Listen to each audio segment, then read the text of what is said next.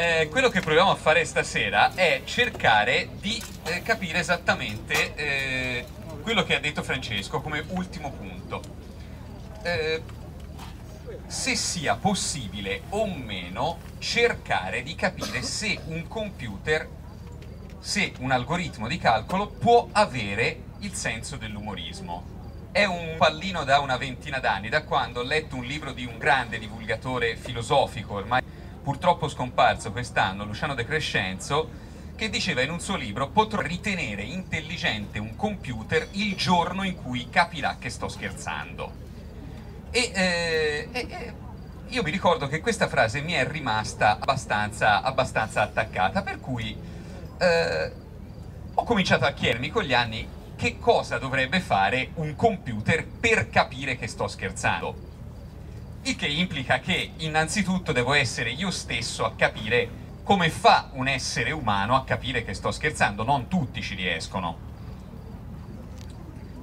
Infatti, questo, questo eh, ti porta chiaramente a eh, analizzare innanzitutto da un punto di vista scientifico, da un punto di vista neurologico, con tutte le possibili, eh, possibili eh, strumentazioni che abbiamo a disposizione, cercare di capire cosa succede nel corpo e nel cervello umano quando qualcuno dice eh, o legge una, una battuta, un, un, qualcosa di umoristico e poi cercare di capire se è possibile trasferirlo a un computer. E qui parleremo, parleremo stasera solo di umorismo basato sul linguaggio parlato, sul linguaggio naturale non parlerò dell'umorismo del senso di, eh, diciamo, di comico che nasce da un filmato, da una musica o da, eh, o da, altre, o da altre cose.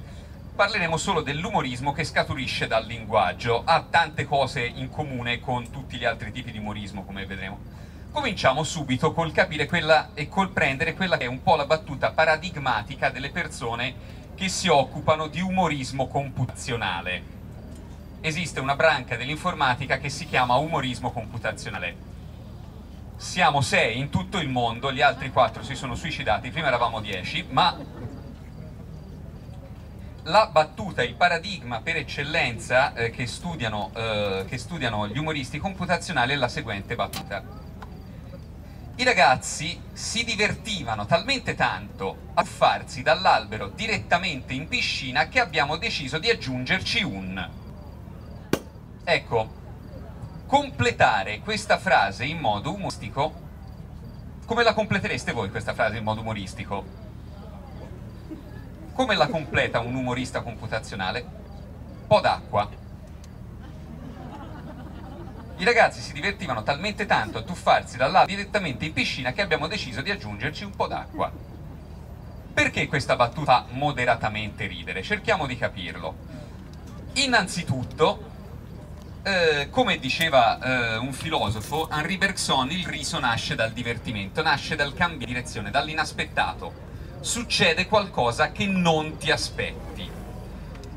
La più grossa risata che ho fatto in vita mia l'ho fatta quando, ne parlava Francesco Sansone, ho eh, per un certo periodo di tempo prestato dietro pagamento la mia voce al Duomo di Pisa come cantore, insieme appunto al coro della cappella eh, dell'opera primaziale del Duomo e un giorno è successa la seguente cosa. Il, durante la, la funzione pasquale che iniziava in battistero, la cappella musicale dell'Opera del Duomo iniziava intonando un Te Deum in battistero, il battistero del Duomo di Pisa, che è un, un posto dall'acustica incredibile.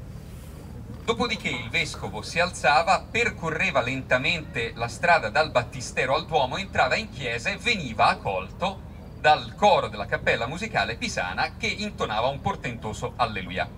Sì, perché appena noi finivamo di cantare dovevamo prendere, andare velocissimi dietro le colonne, partire a corsa, arrivare dietro l'altare, tra scarpe di vernice, eh, tacchi a spillo, enfisemi perché alcuno dei coristi aveva 70 anni, e di lì riprenderci e cantare.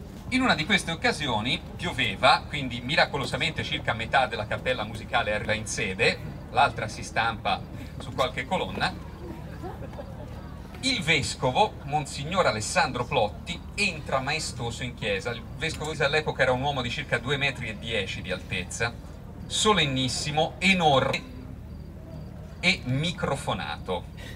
E mentre entra in chiesa, mette il piede sull'ultimo gradino bagnato, chiesa, scivola, si riprende, ma mentre scivola si sente microfonato un chiessimo e palidissimo cazzo! Che di fronte a 1500 fedeli schierati per la messa di Pasqua io non potevo ridere, ero in servizio, quindi diciamo mi esplode un petardo in bocca, vedo tra i miei colleghi coristi qualche infarto e finita lì, ma è stata, anche se non avvenuta, la risata più potente della mia vita. Perché? Perché era successo qualcosa di inaspettato e questo è il primo punto. Succede qualcosa che non ti aspetti. La parola divertimento ha proprio questa etimologia qui. Divertire, cambiare direzione. Detto questo, basta per ridere, qualcosa di inaspettato, se io ora scendessi il palco, andassi da quella signorina lì in prima fila e le tirassi una martellata in testa, sarebbe inaspettato. Però, però sarei un bastardo, cioè la signorina non riderebbe, spero quasi nessuno di voi. Lei sì. Io chiedo, siamo in università, se c'è un medico eventualmente la signora ha bisogno l'inaspettato non basta. Nel linguaggio figurativo, nei romanzi, nelle poesie, ci sono spesso figure retoriche inaspettate, ci sono spesso cose che ci prendono alla sprovvista, però il fatto che qualcosa sia inaspettato non basta a farci ridere. Per capire che cosa succede eh, e vedere che questa ha una corrispondenza a livello neurologico con quanto adesso sosterrò da un punto di vista eh, puramente, puramente verbale, Riprendiamo la stessa battuta. I ragazzi si divertivano talmente tanto a tuffarsi dall'albero direttamente in piscina che abbiamo deciso di aggiungerci un po' d'acqua. Cosa succede? I ragazzi si divertivano, secondo quella che è l'immagine di default che voi vi costruite, a tuffarsi in una piscina. Ma qualcuno si diverte a tuffarsi in una piscina vuota, piena di mattoni? No L'immagine che noi creiamo di alcuni matterelli che si tuffano da un albero di testa direttamente in un declivio di 4-5 metri è assolutamente incompatibile col divertimento. Ecco, questa è la parola chiave, incompatibile. Il divertimento, il, la sensazione, diciamo, il fenomeno inaspettato che creiamo con la seconda parte della battuta non deve essere solo inaspettato, ma deve essere anche incompatibile con la situazione di default che abbiamo creato prima. I ragazzi si divertono a gettarsi in una piscina vuota? No, è impossibile. Nasce da questa impossibilità del nostro cervello di mettere d'accordo l'immagine che creiamo con la prima parte della battuta, con la sua conclusione, con la tesi, con la parte conclusiva, che da questa incompatibilità sorge spontaneamente la risata, quindi non solo inaspettato ma anche incompatibile. Questo è un secondo aspetto necessario che è stato eh, visto a livello neurologico con la risonanza magnetica funzionale per far scaturire una risata. Una risata si attiva solo ogni qualvolta la, eh, quello che diciamo, la, la, battuta attiva due aree del cervello che sono mutualmente in conflitto, che non possono essere evidentemente attive in modo contemporaneo. E questi sono, sono i primi due aspetti dai quali dobbiamo partire se vogliamo capire come insegnare a un computer a eh, riconoscere dell'umorismo. Il terzo concetto lo vedremo solo alla fine. Quindi adesso se vi va noi facciamo un piccolo gioco, prendiamo una battuta, un'altra battuta e cerchiamo di capire in che modo fare a insegnare al nostro computer a riconoscere, a riconoscere eh, che è per l'appunto una battuta. Non so eh, voi a chi vi rivolgiate quando, quando volete ridere, eh, per me eh, le battute spesso più, più, intelligenti e più cattive, quelle che fanno veramente ridere, quelle politically correct, vedremo dopo che la cosa ha un significato e che chi ride sul politically correct è molto probabilmente una brava persona, lo vedremo alla fine di questa chiarata, io di solito vado su Spinoza, sul blog Spinoza, e eh, di solito mi, mi, dà delle grandi soddisfazioni. E un giorno sul blog Spinoza ho trovato questa battuta che è quella che prenderemo come battuta esempio. È, è una battuta che si riferisce a un episodio due, del campionato 2016-2017 quando nel corso di una partita di Serie A i tifosi dell'Ellas Verona hanno incominciato a cantare eh, eh la canzone dello Horst Wessel e a inneggiare Adolf Hitler. La battuta dice i tifosi del Verona inneggiano a Hitler. Fatelo giocare, no? Che c'è di male? Perché questa è una battuta? Beh, diciamo a capire, cerchiamo di capire da cosa nasce, da, da, da, da cosa nascono i due, eh, i due eh, aspetti che abbiamo visto prima, il divertimento e l'incompatibilità. Beh, il divertimento nasce da che cosa? I tifosi del Verona inneggiano a Hitler, fallo giocare. È un cambiamento di cosa? Di dove si verifica il cambiamento qui? Il cambiamento si verifica nella categoria. Cosa intendo per categoria? Beh, eh, immaginiamo di avere un computer. Immaginiamo di eh, far fare a un computer le operazioni che un computer può fare, che sono molto semplici, sono fondamentalmente riconoscere se una cosa è presente o non è presente, riconoscere se in un dato testo è presente quella parola oppure no. Prima operazione di cui abbiamo bisogno. Seconda operazione di cui abbiamo bisogno eh, è contare il numero di volte in cui quella parola è presente in un testo o in una raccolta di testi. Anche questo un computer lo sa fare piuttosto bene. Numero 3, stabilire un rango, cioè mettere, classificare un certo numero di parole sulla base del numero di volte in cui compaiono in un testo o in un determinato insieme di testi.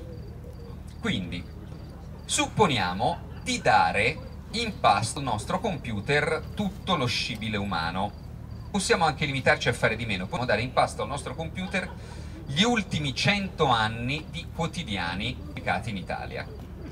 Quindi diamo in memoria al nostro calcolatore elettronico tutti i quotidiani pubblicati in Italia negli ultimi 100 anni, giorno per giorno, e glieli diamo divisi per articolo. Questa cosa, come vedremo, è molto importante per giornale e per articolo. È molto importante perché noi stiamo dando al nostro computer conoscenza strutturata. Non stiamo dando un unico file di testo in cui le cose si succedono senza soluzione di continuità. Stiamo dando, mettiamo due giornali, uno il Corriere della Sera, che è stampato su carta bianca e contiene di solito informazioni di eh, politica, costume, società, economia, scienza, finanza nelle ultime pagine sport e poi gli diamo, che so, la Gazzetta dello Sport, stampato su carta rosa, che parla principalmente di sport e solo in ultima pagina di politica e società. Diamo il Sole 24 Ore, che è stampato su carta arancione e che parla principalmente di economia. Gli diamo una conoscenza strutturata, suddivisa in categorie che il computer si crea da solo semplicemente contando le parole.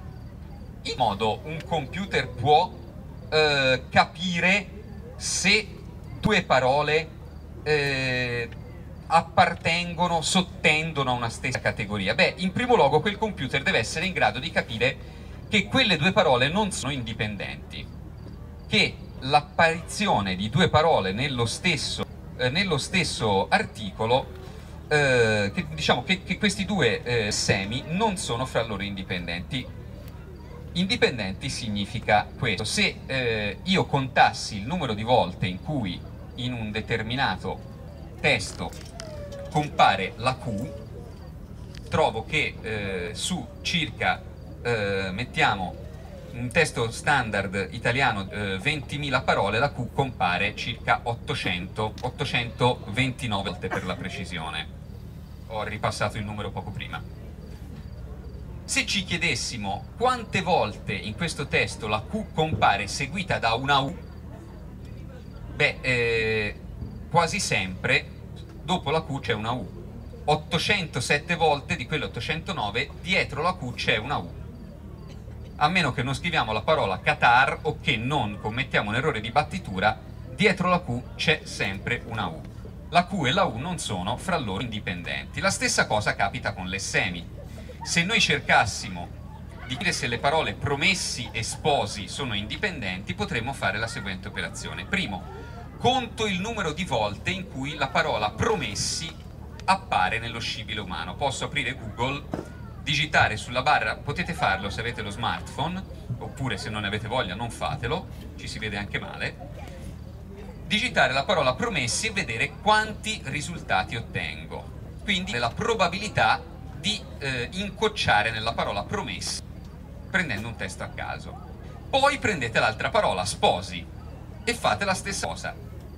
Calcolate la probabilità di trovare la parola sposi in un testo a caso. Ora, se le due parole fossero indipendenti, se le parole promessi e sposi non avessero un qualche legame semantico, la probabilità di trovarle insieme nello stesso testo dovrebbe essere la probabilità dell'una moltiplicata per la probabilità dell'altra. Due eventi indipendenti sono, tali, sono difono tali solo quando la probabilità uno che entrambi si verifichino è pari alla probabilità che si verifichi per la probabilità che si verifichi il secondo. Se voi tirate due dadi, la probabilità di fare 6 è un sesto, la probabilità di fare 2 6 è un 36esimo, un sesto per un sesto, perché il primo dado ha una probabilità su 6 di venire eh, con la faccia del 6 in su, quell'altro lo stesso, a meno che i due dadi non siano uniti da una molla o da un manubrio, sono indipendenti.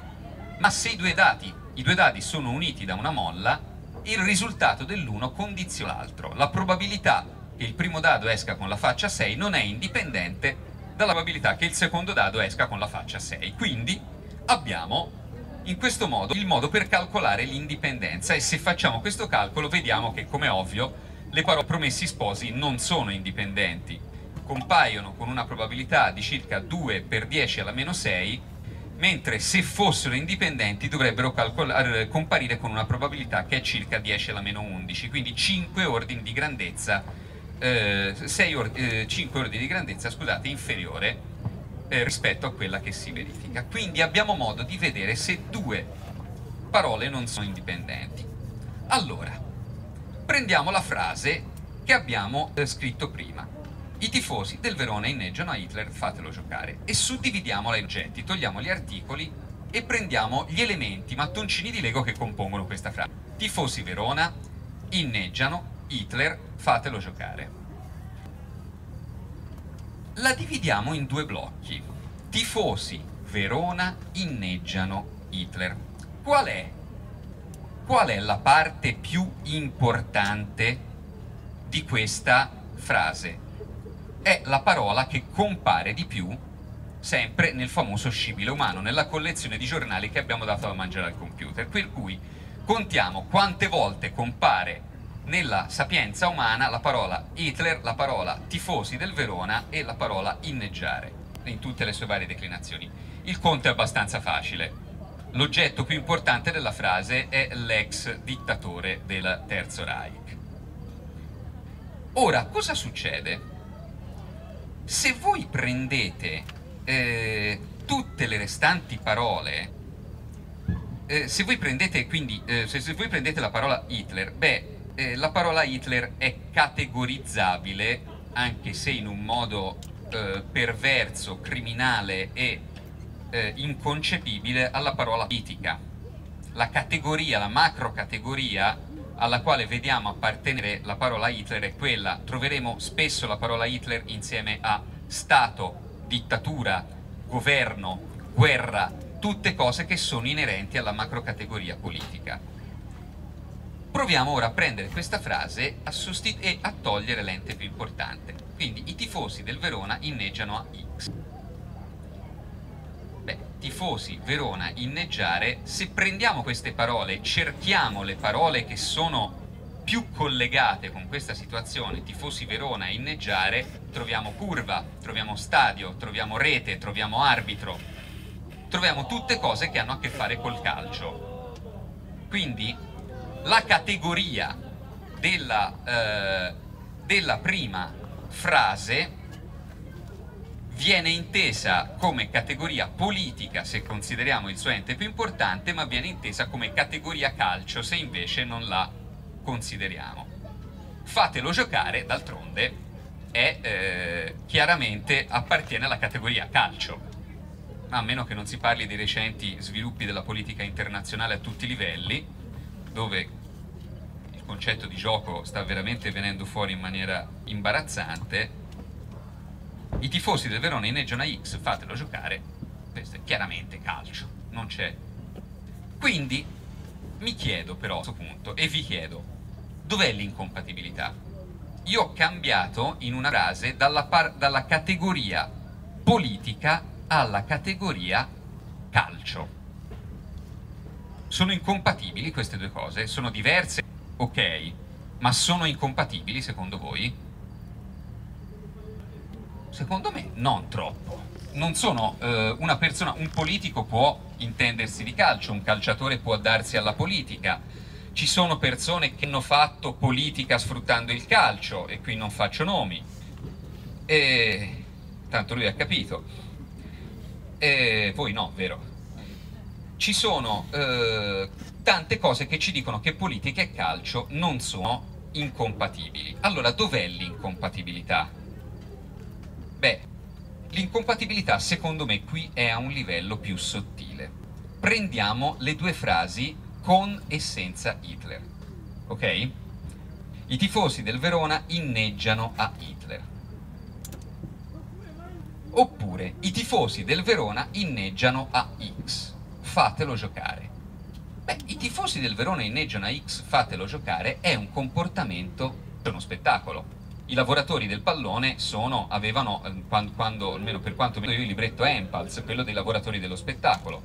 Il tifoso è una persona che ha pagato un bitto e può pretendere che il proprio beniamino giochi e non venga lasciato a marcire in panchina. È un comportamento condivisibile. I tifosi del Lona inneggiano a Hitler. Eh. Per quanti di voi è un comportamento condivisibile? Se c'è qualcuno che dice lo pregherei di andare via perché ha sbagliato posto. Secondo me è questo il punto focale. Comportamento condivisibile, comportamento non condivisibile. È qui che nasce l'incompatibilità ed è qui che dico, secondo me, chi ride su una battuta del genere probabilmente è una brava persona, perché chi ride su una battuta del genere ritiene incompatibile, ritiene non condivisibile il fatto che qualcuno possa inneggiare a Hitler, proprio nei meandri più reconditi del suo cervello. È un qualcosa che non può e non, non riesce eh, ad accettare. Quindi per questo dico che l'umorismo politically correct molto spesso è l'umorismo su cui le brave persone ridono più volentieri se ridiamo su battute del genere significa che nel nostro cervello certi atteggiamenti non li riteniamo condivisibili. Ci viene da ridere proprio perché rimaniamo increduli di fronte alla distanza che c'è fra qualcosa che si può fare e qualcosa che secondo noi non si può fare. Detto questo, abbiamo visto due aspetti e abbiamo visto come potremmo insegnare a un computer a riconoscere questi due aspetti. L'imprevedibile, categorie diverse, e appunto l'incompatibile, categorie non sovrapponibili, cose che si possono fare, non si possono fare. Questo richiederebbe chiaramente insegnare un po' di etica al nostro computer, fargli mangiare probabilmente anche un po' di libri di filosofia e, e, e di altre cose, ma probabilmente ce la potremmo fare. Arriviamo ora al terzo punto, il terzo punto che secondo me è quello veramente interessante. Eh, ed è per quale motivo uno dovrebbe insegnare a un computer a ridere. Cioè, Malvaldi, con tutte le cose importanti che ci sono da fare, perché vuoi insegnare a un computer a ridere? Allora, per capire perché, secondo me, dobbiamo tornare alla prima battuta. I ragazzi si divertono talmente tanto, eccetera, eccetera questa cosa, anche se intellettualmente è una situazione umoristica, giusto? Se io vi dicessi che questa non è una battuta ma una situazione di cronaca, se io vi dicessi che davvero c'erano degli adolescenti nel mio giardino che si tiravano di testa in piscina, in una piscina vuota, qualcuno di voi riderebbe, signora lei no. mi raccomando, eh. L'abbiamo capito che lei è un insensibile, lasci parlare gli altri. Qualcuno di voi riderebbe vedere dei sedicenni che si scassano la capa? No. Perché ci ridiamo? Perché quei sedicenni non esistono. Perché siamo in grado di capire che quei sedicenni, che quella piscina, che quell'albero sono nostre costruzioni mentali. Sono oggetti che nella realtà non esistono. E questo è il terzo ingrediente, quello fondamentale. Ciò che succede non deve mettere a rischio la nostra incolumità o quella dei nostri simili. Una persona che viene, eh, mettiamo, mi viene in mente un pesce di nome Vanda, uno Yorkshire che viene schiacciato da un camion in un pesce di nome Vanda fa ridere. Un cane che viene schiacciato da una moto per la strada, no, meno che non sia il cane di vostra suocera, no. Anche sono un po' insensibile, sì. Ora, come faccio a insegnare a un computer a distinguere ciò che mette in pericolo la sua sopravvivenza e la sua esistenza o quella dei suoi simili? Dovrei prima di tutto far capire al mio computer il concetto di sua sopravvivenza, di sua esistenza. Dovrei essere in grado di far capire al computer che esiste un mondo in cui lui esiste e funziona e un mondo in cui lui no dovrei, in poche parole, essere in grado di dotare il mio computer di coscienza di esistere.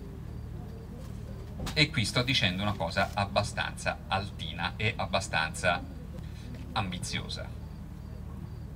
Se voglio veramente che il mio computer rida come un essere umano, devo metterlo in condizione di capire che cosa può capitargli veramente e che cosa invece non può capitargli veramente. Devo essere in grado di fargli riconoscere una mano che si avvicina a Pina e la sta staccando e, e distinguerla dal filmato di un uomo la cui mano si avvicina alla spina e sta per staccarla.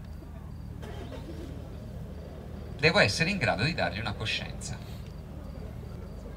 Ora, io non so se arriveremo mai a realizzare dei computer che siano dotati di coscienza. C'è chi dice che ci siamo vicini, i profeti della singolarità, i vari Rai Kurzweil e compagnia bella. Ray Kurzweil è un grande informatico statunitense che da anni si nutre esclusivamente di pillole eh, nella speranza di vivere fino a 160 anni, fino al 2049 eh, anno in cui, 2000, al 2000, scusate, 80 anno in cui la singolarità, secondo lui, cioè i, i computer con coscienza, saranno una realtà e la sua mente potrà essere trasferita in un computer. Ci sono persone del genere, ci sono persone che dicono che la cosa è assolutamente impossibile ma non ti spiegano perché.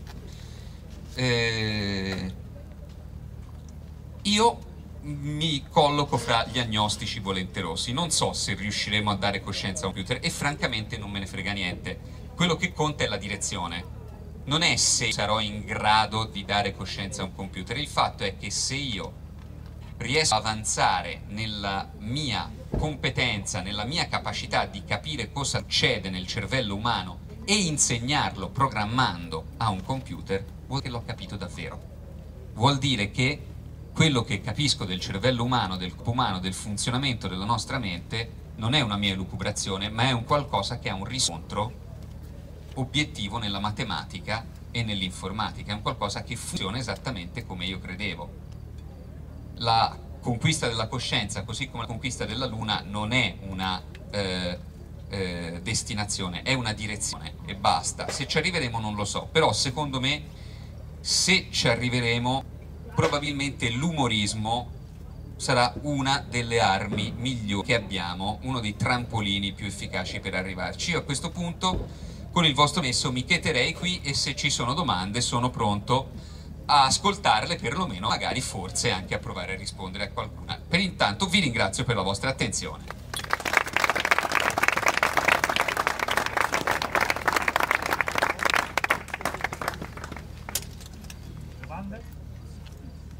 Ormai dormano tutti serenamente. raccomando, se qualcuno fa non quella signora lì in prima fila perché abbiamo capito che è un'anima perfida, eventualmente qualcuna. Questo è, un, questo è un momento sempre imbarazzante.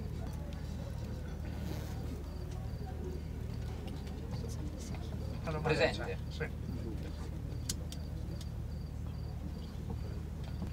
Un altro meccanismo dell'umorismo è il gioco di parole, no? Mm?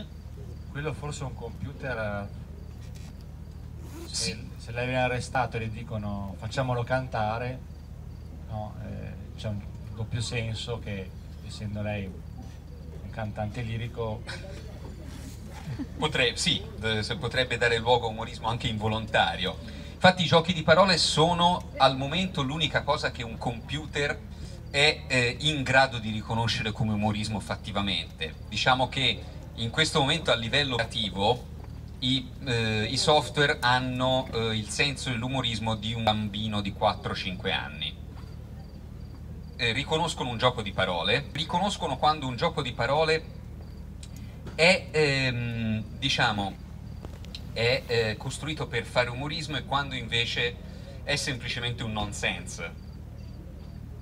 Cioè se dicessi arresto, arresto qualcuno, facciamolo guidare, ti dicono no, non ha senso. Se ti dicono facciamolo cantare, ci sono due possibili significati e questo, eh, e questo il computer è in grado, è in grado di, di, farlo. Diciamo che eh, a livello dei giochi di parole lo, eh, lo, lo, può, lo, può, fare.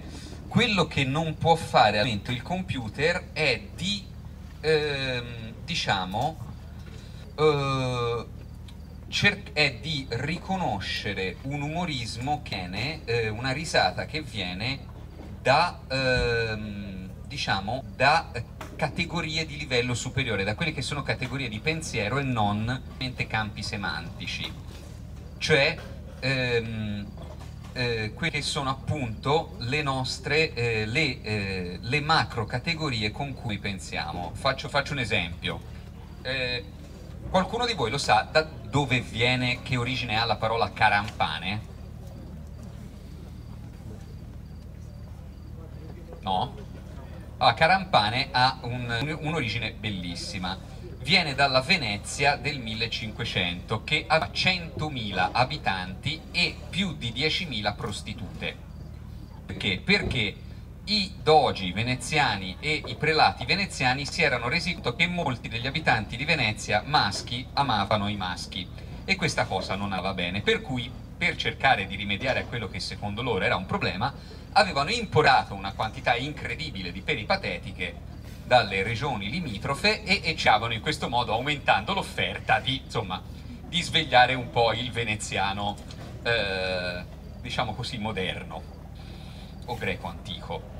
Cosa succede? Che a un certo punto queste signore invecchiano, non sono più in grado di fare bene il loro lavoro, non sono più in grado di procacciarsi il bene quotidiano. A questo punto a questo punto bisogna in qualche modo eh, fare in modo che abbiano un alloggio, una casa e un tale signore, il signor Rampani, destina le sue, eh, le sue eh, case per il ricovero di queste signore. Evidentemente era una persona che aveva, diciamo, diciamo che doveva molta riconoscenza a queste signore, per cui le vecchie prostitute stanno a Carampani. Ma qualcuno si aziona a queste signore che pure se attempate sono comunque esseri umani, hanno una loro grazia, una loro simpatia, alcuni dei vecchi clienti sono rimasti affezionati e quindi tornano a trovarle e quindi vanno a Carampani. E da andare a Carampani si arriva a andare a Carampane quello che oggi noi definiremmo andare a MILF all'epoca era andare a Carampane beh eh, quella che vi ho dato è una spiegazione filologicamente inaccepibile e assolutamente, eh, c'è un bellissimo libro di Carlo Vanoni sull'argomento, se, se, siete curiosi, assolutamente riscontrabile. Vi ho dato una spiegazione storica, però qualcuno di voi ha riso mentre la davo, perché? Beh, perché la, il concetto di spiegazione storica e dotta e il concetto di, eh, di patetica spesso sono in conflitto inspiegabilmente, secondo me la filosofia e la scienza debbono molto agli amori ancillari, ricordiamoci di Socrate, dire, si ispirava tantissimo a queste cose. Però questo tipo di eh, umorismo nasce dal confliggere apparente di due categorie che sono molto alte nel pensiero, quindi un computer non sarebbe in grado di vedere che c'è dell'umorismo nel, nella storia che vi ho raccontato. Proprio in questo momento non ne sarebbe in grado perché sarebbe in grado di vedere incompatibilità fra la seriosità della spiegazione storica e eh, diciamo, la, eh, diciamo, l'inevitabile ilarità che suscita nell'essere umano il parlare di sesso, di cacca o di altre cose in pubblico in termini eh, che siano eleganti e in, in, un certo qual modo eh, non portati appunto all'argomento ma semplicemente a parlare dell'argomento. Questo proprio il computer in questo momento non ci arriva. Prima o poi magari. C'è uno che ha alzato la mano o vedo male io? No. Era una zanzara? Ok. Una domanda. Dove? C'è, c'è. Ah, Fabio. Buonasera. Buonasera. Le volevo chiedere se eh, l'umorismo computazionale ha un scopo pratico nella computazione oppure serve più a noi stessi che tentando di insegnare un computer l'umorismo o altri eh, processi psicologici che ci caratterizzano eh, serve più a noi per capirli e per capirci.